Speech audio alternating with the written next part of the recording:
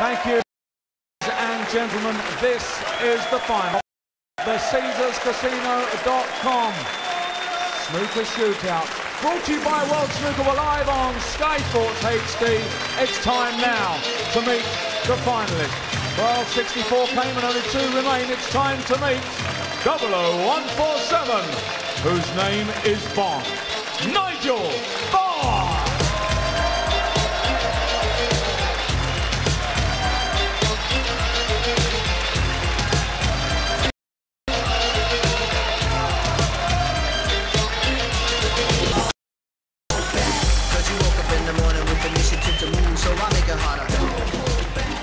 And ladies and gentlemen, would you please welcome from Gloucester, Robert Milkins!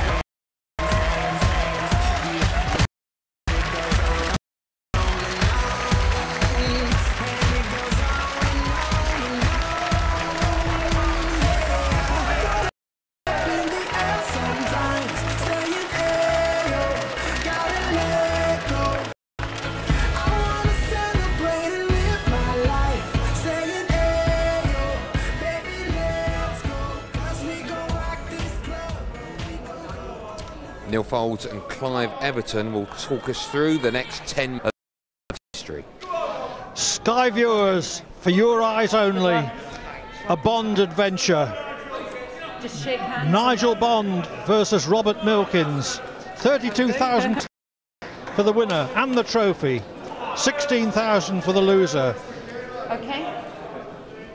They're about to play the most lucrative 10 minutes of their career.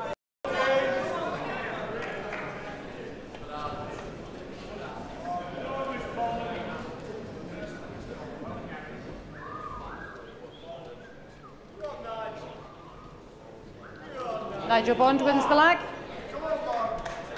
Milkins versus Bond.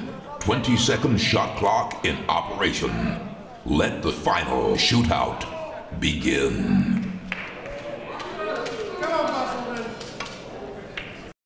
I would say that uh, a cool head is the chief attribute that Nigel Bond has shown in reaching the final. Robert Milkins' advantage is that he's a naturally quick player. Nigel Bond's always been very cool. I remember the match at the Crucible where he beat Stephen Hendry on a respotted black in the final frame. Coolly knocked it into a middle pocket. When he won the British Open, it came down to the last couple of shots as well, like you say. Cool as a cucumber.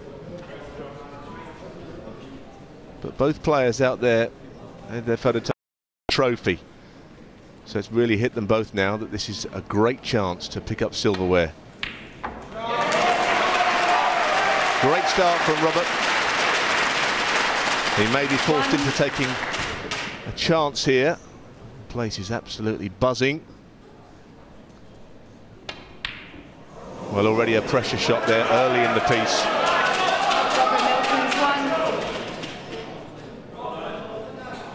Although it could have come slightly worse.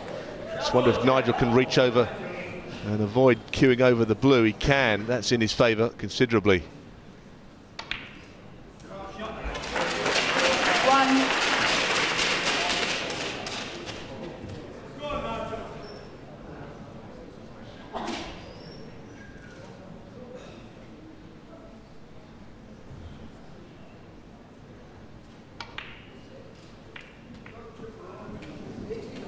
Well, he's gone into that cluster of reds. He's close to a lot of them. Not many of them actually go.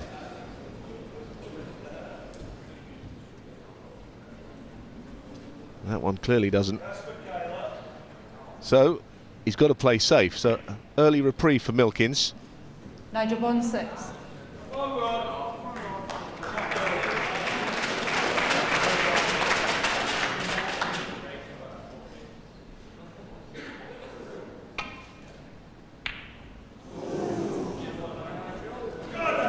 Well, a dangerous shot. I think he thought it would be safe, but he's left the red that he played, which can often happen. One. So Bond is in close round the black. How long can he stay there? Well, it's a little congested around uh, the middle of the table. It will be quite difficult to make a big break here. Well, he may have pushed a red potable to the right middle pocket here. Well, he's slightly fortunate.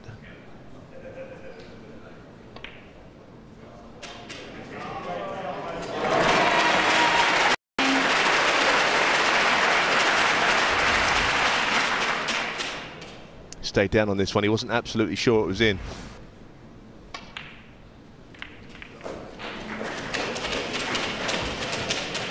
Went into the bunch with uh, a little 14. more pace that time. But still not that good. No, far from it. It's the reason he missed that shot, Clive. Nigel Bond 14. To understand these two players being somewhat edgy.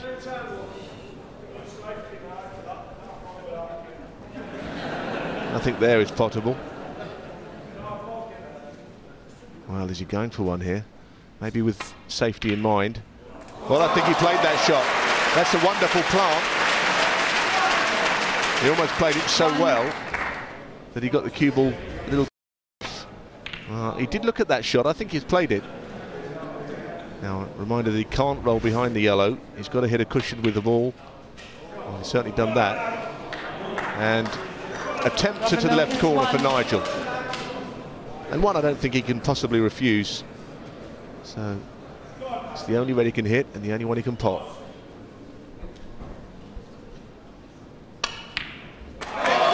Terrific.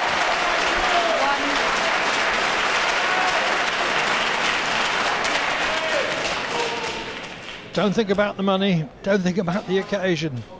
Just think about the shot.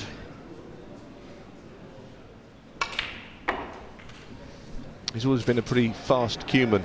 Doesn't take an awful long time on shots. Five. And as you saw there, 45 years of age, he still pots long balls, which is sometimes the first thing to go at this game.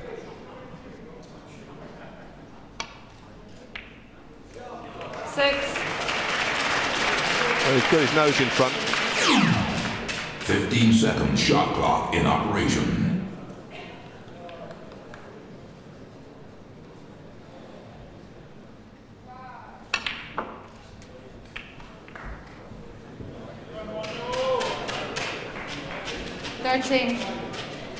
Nice nudge on a red to the middle pocket.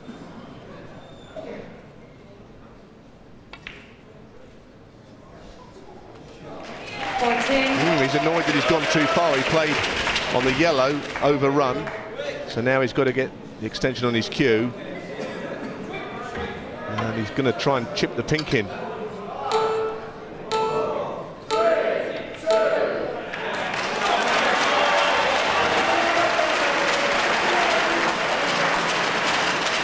38 in front.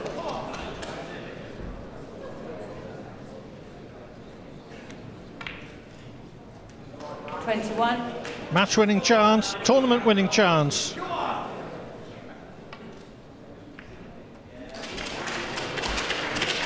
Oh, lovely little nudge there. And your mind goes back to that long red that he started this break with.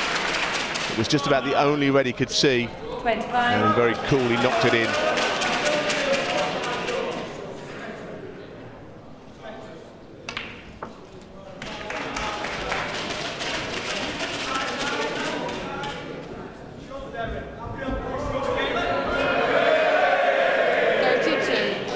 Only spot available was yellow spot, so Michaela had a little jog around there to save time. This is all one-way traffic. Mathematically, Milkins can still win as Nigel checks. It's 59 on the table. Will he get the chance? Has he got the time?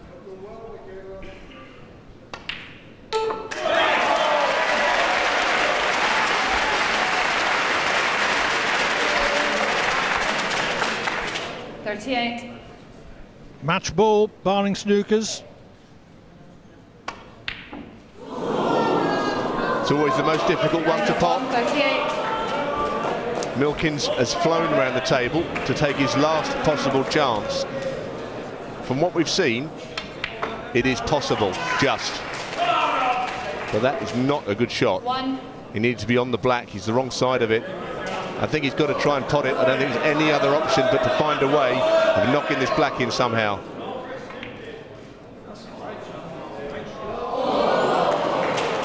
Albert Milkins one. That was his last chance, surely.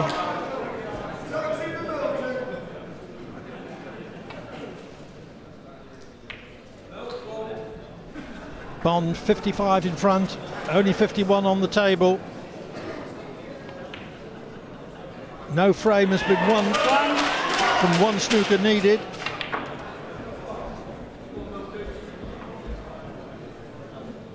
Eight. Nine. I guess the best possibility is to get ball in hand. But there again, that has to come after a Bond 16. foul. You know, which Nigel won't be rushing to take the shot either. Well, both players can be very proud of themselves, how they've adapted to the system. Does look awfully like Nigel Bond, though, is going to win his first title for an awfully long time.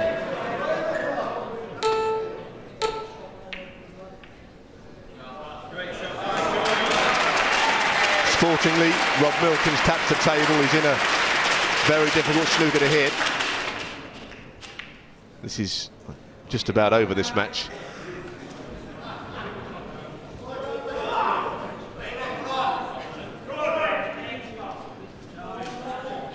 Forty-five seconds. Bond the proverbial mile in front. This is academic now. Nigel Bond is going to walk off with the trophy. Well, Nigel's a great lad. He's been on the tour for many years and he's going to claim some more silverware and well done to him. Deserves everything he gets.